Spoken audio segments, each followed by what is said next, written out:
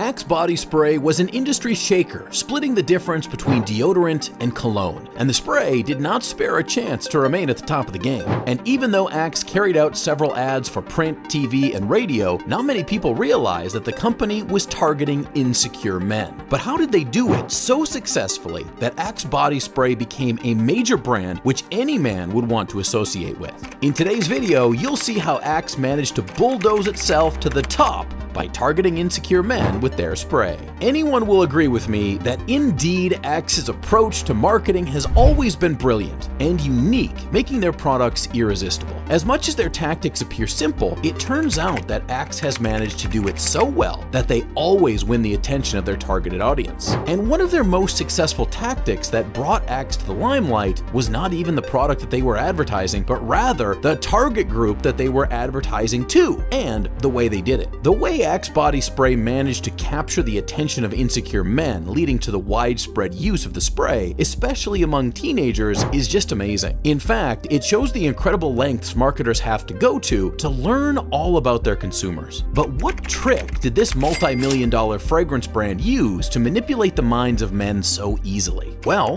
Axe was born in 1983 in France under personal care behemoth Unilever, and it picked up well under the tagline of a bottled sex pheromone. But by the time Axe was launched in America in 2002, sales of Axe body spray were not pleasing and the brand needed a facelift. As a result, the company decided to contact the advertising services of the London agency Bartle Bogle Hegarty. And contrary to what the company expected, the agency reasoned that in fact, sex was not even the missing ingredient in Axe body spray ads. They realized that the sex pheromone idea was appealing to everyone, and when you appeal to everyone, you appeal to no one. So they had to figure out who to particularly target with their ads. And so, the agency had to do a study of men out to bars and observe them as they tried to pick up girls. In the process, they were classifying them into different potentials based on consumer needs. At the end of the study, they realized that Axe was too general with its ads. They concluded that they, in fact, didn't need to advertise to the already confident male because this category was outgoing and ready to win women by themselves. But they realized a another group of men who really needed help winning the woman of their choice. This category consisted of the awkward, average man who would spot a woman of their choice but had no clue how to win the lady they wanted. They are the nerds. That means any idea sold to them that would help them to win a woman is worth dying for. And so, Axe will not have to spend much effort in selling their Axe body spray to this group of men, because it offers an instant solution to their insecurity. They profiled this category of men who formed their main audience as the insecure novice. But diving deep, you get to realize that this group of nerd men are teenage boys who fall between 15 to 18 years old. These young men are just emerging from school, and they're craving confidence. A majority of them are very insecure and afraid of their perceived immaturity. Indeed, such a person can do whatever it takes to get a hand at anything that can guarantee them confidence and make them feel like a real man. But more importantly, but more importantly, win that girl that they've been eyeing. And that is exactly what the Bartle Bogle Hegarty agency wanted to achieve with the Axe ads. So next came the ads themselves under the Axe Effect campaign. The strategy of the Axe Effect campaign was to create an illusion that once you spray the Axe body spray, any woman would fall for you. And the very first TV commercial by the brand to use this strategy was crafted. The ad depicts an awkward young man attending a cocktail party who eventually turns charming and confident the moment he applies the Axe body spray. Eventually, the man conjures an imaginary vision of adulthood. Several other ads came later, some involving how a single application of Axe body spray can help a young man get chicks. And considering that one of the male fantasies is to be irresistible to several sexy women, Axe body spray just blew up.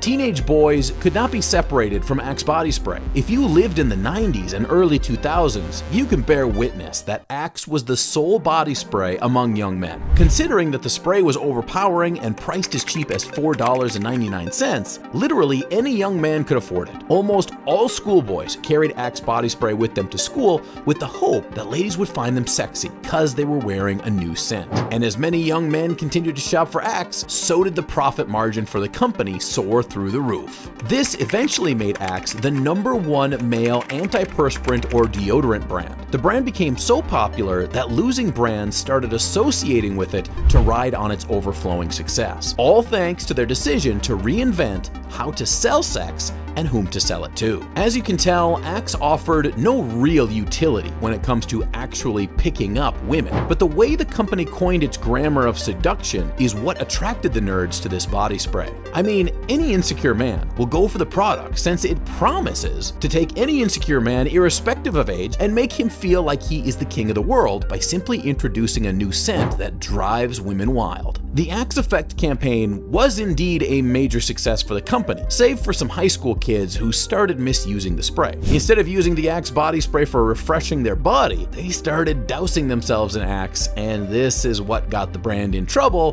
with some schools' administrations. Even though insecurity was the driving force behind the success of the Axe Effect, it turns out that the same insecurity was eating the brand from the inside, and it had nothing to do with the school's admin, but the diminishing sales. The Axe Effect campaign suddenly weaned off after several years of success, and by 2013, the rate of global growth was already on the decline. Unilever was so worried, and it wanted to understand what might have changed. Was it that young men no longer wanted to associate with the Axe Effect, or what was going on behind the scenes? This is what prompted Unilever to embark on another study to understand the reasons behind the decline in sales. The study was conducted on about 3,500 men in 10 countries, with the goal of understanding conceptions of masculinity and self-esteem. But at the same time, the brand wanted to understand why the Axe Effect was no longer appealing to men. At the end of the study, the brand realized that some men felt sidelined by the Axe Effect campaign, which seemed to only target insecure men. And the fact that the brand was being associated with insecurity meant that its sole purpose was to appeal to those